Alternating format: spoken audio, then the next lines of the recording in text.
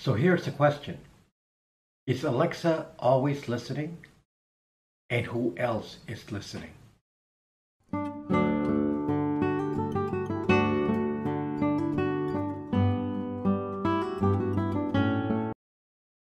There are so many misconceptions about Alexa because I've seen videos say, oh, it only records the command after the wake up word. So it's not clear if Alexa is listening to everything. So the best way to approach this is as a programmer. Look at the documentation from Amazon and it's called Amazon Voice Services and it has all the instructions there for programming an Alexa capable device. Just to show you the disinformation, in, in an article on USA Today, it says that when you ask Alexa, what's the weather today, that it will actually only take the words, what's the weather today, and send that to Amazon. There's another video on YouTube that says Amazon Echo will only record a loop of 60 seconds of the voices or sounds in your house and then once it detects the wake up word, then it sends it to Amazon with the command. Again, I'm not a misconception because that's not the way the programming works. The way it works is called cloud based wake up word verification.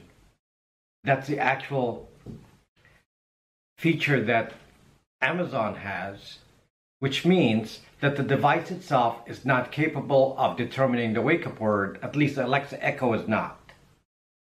The Alexa Echo is a very small computer. It's like a Raspberry Pi. It doesn't have a lot of processing power required to do voice recognition, which requires a lot of CPU and memory. This is why the Alexa Echo can do only simple things. Its, its main function is to record sound to find sound in its environment, record it, and then save the file and send it over to Amazon. And this is a loop. It just keeps looping this. Every time it hears a sound, it saves the file until the sound cuts off and then sends the file to Amazon. And using the cloud based wake up word verification, Amazon will then respond back and say, Yep, there's a wake up word or no, there's no wake up word. If there's no wake up word, no other actions needed, and the thing just loops again to listening for the next sound. If if a wake up word is detected, the the uh, Alexa, the Amazon service will come back and say, "Yep, there's a wake up word," and then it expects anything following the wake up word to be a command. Or it could actually go into listening mode and wait for the command to follow. Now, because it doesn't know if the command is going to be in that first soundbite or if the command is going to be sent separately after the wake up word, like if you say Alexa and then you pause. So it has to send everything because that's the way it works. It, that's the way it's explained in the uh, API or the application programming interface that programmers have to use to link to Alexa. When Amazon detects that there is a wake up word, it will then take the commands, and the commands are the same thing as if you typed it on a keyboard and you sent it over to Google, in this case to Amazon, and comes it comes back with a return result. Now, in, in the case of Alexa Echo, what it does is takes the re- return results and then synthesizes it into a voice. And that doesn't take a lot of CPU, and that is then what you hear when you when you uh, hear Alexa respond. So, so the question is, is Alexa always listening? Well, yes, obviously it has to. There's no other way for this to work. There's no other way for cloud-based. that's why it says cloud-based.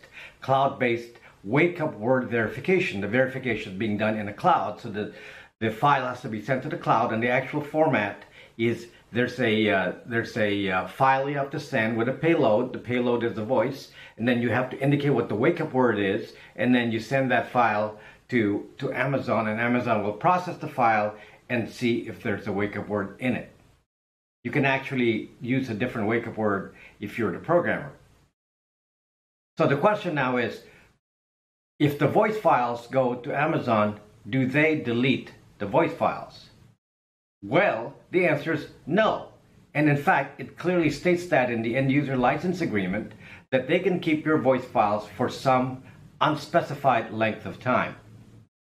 Now, an independent researcher actually compared the different voice recognition programs out there like Siri, Cortana, Google Assistant, and and and Alexa Echo, and they determined that the most accurate one as far as sensing what it is that you're trying to say is Alexa Echo. And the worst one was Siri. So the question is, why is Siri performing at a lower level than Alexa Echo? As it turns out, it's because Apple deletes their voice files every six months, or at, after six months, the voice files will be deleted. Whereas at Amazon, they have not deleted the files.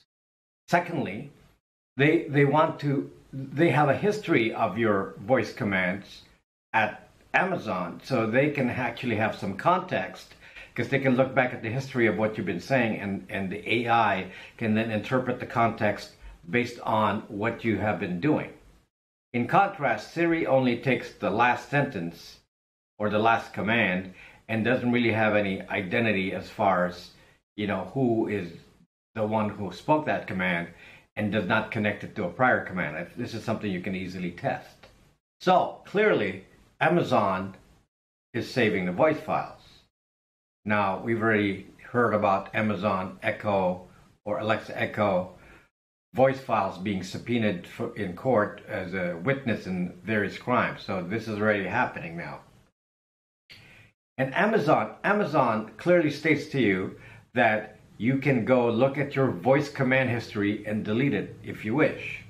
Okay, now just so we understand the difference here, there's the voice command history, which is the interpreted command, voice recognized. There's the actual voice files. I look at those as two different things. No one said anything about what happens to the voice files and how do we audit to make sure that they're actually deleted. Let's assume that they're not. They're not. They're using it to redevelop their AI and improve it, and they can improve it by keeping the voice files. That's what they say in the end user license agreement. However, this is the question I have for you. So, Amazon has created a voice infrastructure for capturing voice for, for most households or many many households the majority of households in the in the United States and combined it with Siri Cortana voice voice assistant from Google all of this are are voice collection mechanisms and they're really surveillance mechanisms the question I have here is is there anyone willing to pay to listen to that well Amazon Amazon is the one of the largest contractors for the three letter agencies. In fact, Amazon provides a, a, a, version of its cloud services isolated and it's just specifically for three letter agencies. What would it take for a three letter agency to ask Amazon to listen into the, vo- the voice files for a fee? They might say, "Can we can we listen to the voice files, and uh, for a fee, can we do a voice print Voice printing is something else that I will talk about in a different video. But voice can I, can we voice print those people and see who they are and get their identity just from the voice files? And if I were Jeff Bezos and, and the, the three letter agencies offered me money with a black budget that no one could see, uh, I'm not going to say no. I'm going to say, Doc, yeah, bring the money in. Yes, a-okay. So this infrastructure that he built is is is even more important than just saying it gets Amazon sales because they can order directly from Amazon. No, this sucker is listening to you constantly. So the three-letter agencies must love this. And what is so amazing about this technology is it's mostly spying on US citizens. This is not something that spies in some other country. It's inward focused surveillance. Zucked up people. So I'm not going to have an Alexa zucking echo in my zucking house. I don't know about you, but I think you need to dump that thing and use it for zucking target practice. It's perfect size. Perfect size for a bullseye. Okay, target practice for your Alexa Echo.